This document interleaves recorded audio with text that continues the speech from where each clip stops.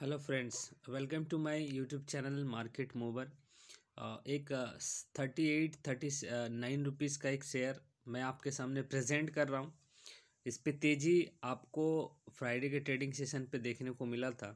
यहाँ से और भी स्टॉक तेज हो सकता है। एक बेहतरीन कंपनी है, बेहतरीन कंपनी जिसका नाम सुनिएगा आप। डिफेंस सेगमेंट की कंपनी है, पूरा डिटेल्स मैं आपके साथ इस वीडियो पे चर्चा करूँगा। इस स्टॉक की कहानी कुछ बहुत अच्छी रही है, बट स्टॉक चला नहीं है। लेकिन अभी कुछ दिनों से, कुछ महीनों से इसमें कुछ अच्छा खासा इंटरनली कुछ वर्कआउट चल रहे हैं। कुछ कॉन्ट्रैक्ट भी मिले हैं, बत्तीस सौ करोड़ का हाइड्रो प्रोजेक्ट्स भी इनको मिला है। और ये खबर इकतीस दिसंबर टू थाउज़ेंड ट्वेंटी मतलब बस कुछ ही दिन पहले ही इनको ये ऑर्डर मिला। मेक इन इंडिया के मूवमेंट के हिसाब से स्पेशल फोकस इस कंपनी ने किया कंट्रीब्यूटिंग टू द आत्मनिर्भर भारत अभियान। पूरी डिटेल्स लेके जाइएगा, सिर्फ़ वीडियो स्किप करके ना देखिएगा। पाँच दिनों के चार्ट स्ट्रक्चर पे देखिए स्टॉक तेज है। एक महीने से ये स्टॉक तेज है। पिछले छः महीनों पे स्टॉक ने अच्छी रिकवरी की है। एयरटेल डेट पे आप स्टॉक की कहानी देख पाएँगे और एक साल के चार्ट पे भी आपको कुछ नज़र आ रहा होगा। पचास रुपये का हाई है इस स्टॉक का। आप स्क्रीन पे देख पा रहे होंगे। एक साल का ये हाई ये रिसेंटली हाई जो है, ये आपको टच करता दिखेगा सबसे पहला। और दूसरा मैं पाँच साल की हिस्ट्री दिखाऊँगा स्टॉक की कहानी बहुत अच्छी नहीं रही है बट पूरी डिटेल्स लेके जाइएगा, चार सौ रुपये का स्टॉक है ये। जी हाँ बहुत बेहतरीन। इन्होंने काम किया है, सत्रह रुपये से स्टॉक चलना शुरू किया था। और देखिए, सत्रह रुपये से चलते चलते इस स्टॉक ने आग लगा दिया था।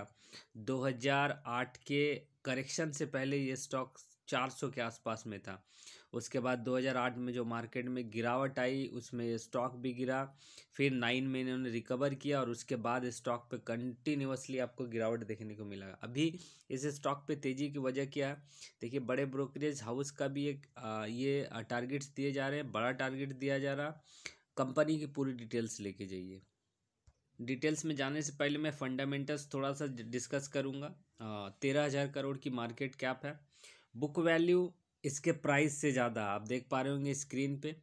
अड़तीस रुपये का प्राइस है और अठहत्तर रुपये का बुक वैल्यू है। आपको ये बुक वैल्यू का प्राइस आपको बहुत जल्द ही दिखाई दे सकता है इस स्टॉक पे। डिविडेंड नहीं नज़र आ रहा, फेस वैल्यू दो रुपये का है, लेकिन ये डेट फ्री कंपनी है परमोटर्स की धाकड़ होल्डिंग और परमोटर्स कौन है, ये भी मैं अभी दिखाऊँगा। परमोटर्स के शेयर्स पे कोई गिरवी रखे हुए शेयर्स नहीं है।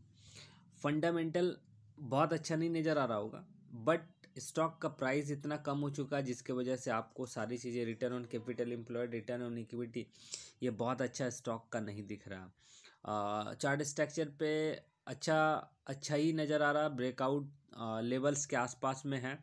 चालीस पै, चालीस, इकतालीस का एक ब्रेकआउट है हर्डल है, इसको पार करते हैं स्टॉक में फर्दर आपको मोमेंटम दिखेगी, जो स्टॉक को पचास रुपये के ऊपर तक ले जा सकता है।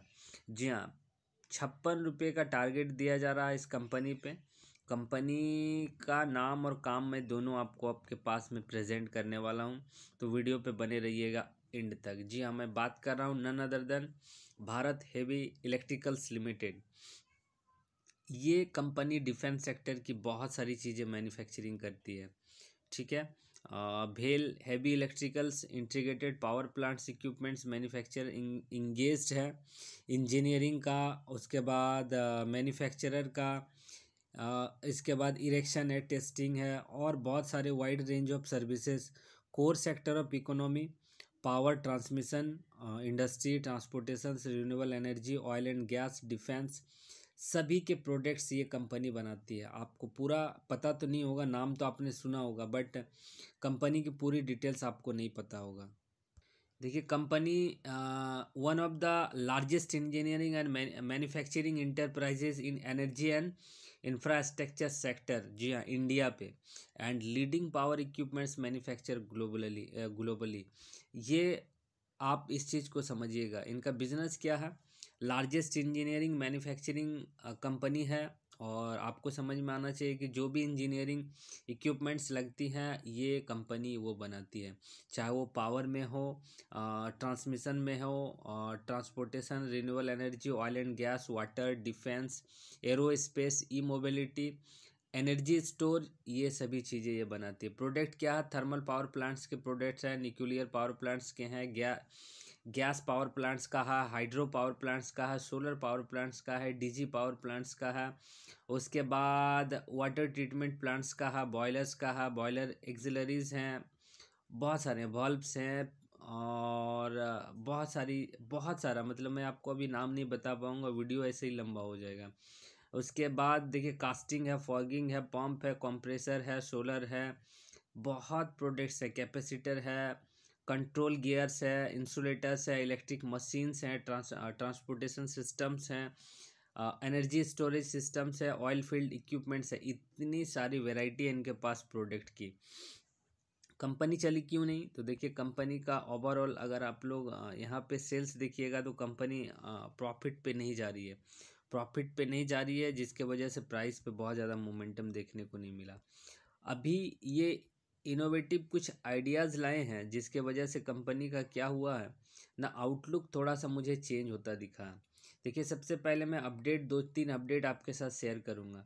अभी इनको इकतीस दिसंबर को बत्तीस सौ करोड़ का ऑर्डर मिला है हाइड्रो पावर प्रोजेक्ट का, जैसा कि हाइड्रो पावर प्लांट्स के ये प्रोडक्ट बनाती हैं। उसके बाद इन्होंने जो मेक इन इंडिया मूवमेंट है स्पेशल फोकस किया गया था कंट्रीब्यूटिंग टू द आत्मनिर्भर भारत अभियान, जब ये स्टार्ट हुआ था। भेल is organise a series of interactive workshop, ठीक है? Samvad under the guidance of the department of heavy industries उसके बाद इसमें और भी फर्दर कुछ मोमेंटम किए गए हैं। तो ये सभी चीज़ें देखते हुए स्टॉक पे एक तेज़ी देखने को मिल सकता है। देखिए स्टॉक पे एक बड़ा टारगेट्स बाई कॉल मेंटेन किया जा रहा और आपको मैं दिखाना चाहूँगा कि इस पर कितने बड़े टारगेट्स दिए गए हैं। देख लीजिए थर्टी सेवन थर्टी एट पे चल रहा है फिफ्टी सिक्स का टारगेट दिया जा रहा, पचास परसेंट का अपसाइड मूवमेंट यहाँ से आपको देखने को मिल सकता है। इकतीस, बत्तीस का जोन है और यहाँ से स्टॉक मोमेंटम दिखा सकता है। तो आप इस स्टॉक को अपने पोर्टफोलियो पे नहीं अपने शॉर्ट टर्म ट्रेडिंग डेस्क पे ज़रूर शामिल कीजिए। आपको बहुत ही कम समय में आपको ये पचास रुपये के आसपास में देखने को मिल सकता है। ये अपडेट थी जो मैंने सोचा आप तक पहुंचानी चाहिए, मैंने अपडेट पहुँचाया। बट इस वीडियो को देखने के बाद, इस सारी इन्फॉर्मेशन को देखने के बाद आप एक बेहतर डिसीज़न ले पाएँगे। यही हमारा काम है। अल्टीमेटली डिसीज़न तो आपको लेना होगा। तो अपनी स्टडी एनालिसिस कीजिएगा स्टॉक पे बनिए प्रॉफिट कमाइए। जो भी कीजिए वो आपका ऑन डिसीज़न होना चाहिए। या फिर अपने फाइनेंशियल एडवाइज़र हैं तो आप वहाँ से भी सलाह ले सकते हैं और स्टॉक पे बन सकते हैं। मैं आशा करता हूँ आपको सारी चीज़ें बता पाएँ उस वीडियो के माध्यम से। अच्छा लगे तो लाइक कीजिएगा चैनल को सब्सक्राइब कीजिएगा। Thank you